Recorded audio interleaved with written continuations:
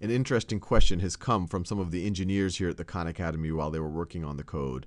Are there any quadrilaterals? And I've drawn an arbitrary quadrilateral right over here, quadrilateral A, B, C, D.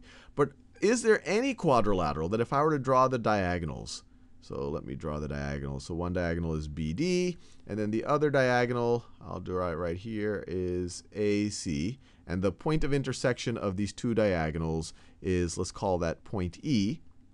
Point E.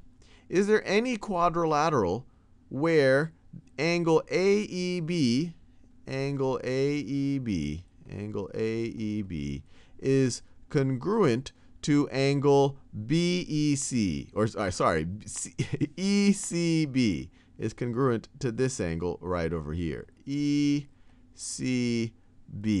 So I'll let you think about that for a second. Is there any quadrilateral where these two angles are going to be congruent to each other? Now to think about whether this is possible, let's assume that it is. So let's assume, let's assume, let's assume that we do have a quadrilateral where this is indeed the case, where AEB, where AEB, this angle right over here, is congruent to angle ECB is congruent to angle ECB. We're just going to assume that right from the get-go. Now, let's try to visualize this whole thing a little bit differently. DB is a segment, but it's a segment of a larger line. So we could keep extending it off like this. And let's call that larger line line L. let me draw it like this. So this right over here is line L. DB is a subset of line L. And CB, which is a segment, is also a subset of a line. And we could call the line, if we were to keep extending it, let's call that line M. So I'll draw it like this. So line, line M. C, CB is a subset of line M.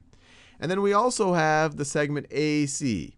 And AC, once again, is a segment, but we can view it as a subset of a larger line. And we'll call that larger line line N.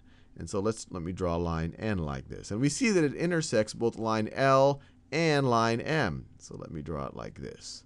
So it looks something like that. That is line N. And we've assumed that angle AEB is congruent to angle ECB. Well, point E is just where N and L intersect. So this right over here is point E. And point C Point C is where lines N and M intersect. So this is point C. So this assumption right over here that we're assuming from the get-go is saying that this angle, AEB, I'll do in that same magenta, AEB is congruent to this angle, ECB, is congruent to that angle. These angles are these angles right over here. Now, what does that tell us about lines M and L? Well, the way we've set it up, we have two lines, lines L and M. Line N is a transversal. And now we have two corresponding angles are congruent. We assumed that from the get-go, that we could find two a quadrilateral where these two corresponding angles are congruent.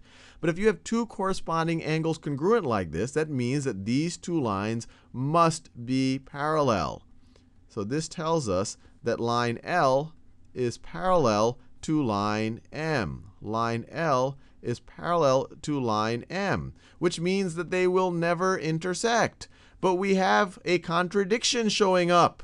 And I'll let you think about what that is for a second. Well, the contradiction that shows up is that if line L is parallel to line M, then any subset of those two lines have to be parallel to each other. So if L is parallel to M, then that tells us that tells us that DB DB, segment DB needs to be parallel to segment needs to be parallel to segment CB parallel to segment CB, which means that they can never intersect with each other. But that's a contradiction. They do intersect with each other. They intersect right over here. So if we assume that there's a quadrilateral where this is the case, you end up with this contradiction, something that's not possible. By definition, it was a quadrilateral. This diagonal intersects at point B, which is one of the which is where this side intersects too, and so they have to intersect. These two cannot be parallel in order for this to actually even be a quadrilateral quadrilateral. And because of that, it is impossible for any quadrilateral for this angle, AEB, to be congruent with this angle, ECB.